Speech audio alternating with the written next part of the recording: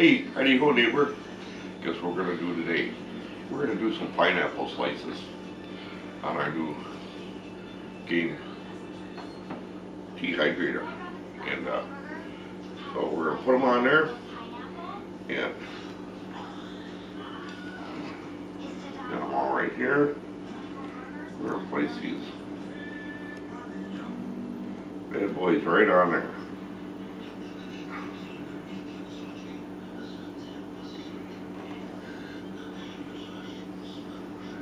So instead of doing a whole can, uh, regular pineapple, we decided we were gonna try these pineapple slices from a can.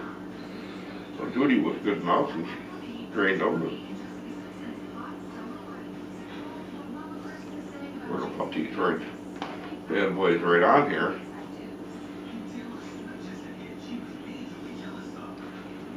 And according to the directions,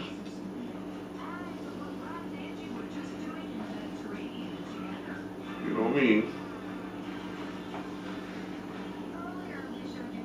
the male species usually don't, uh, adhere to direction. I'm starting to learn these things. Well, looks like we're gonna get, uh, three nice trays here.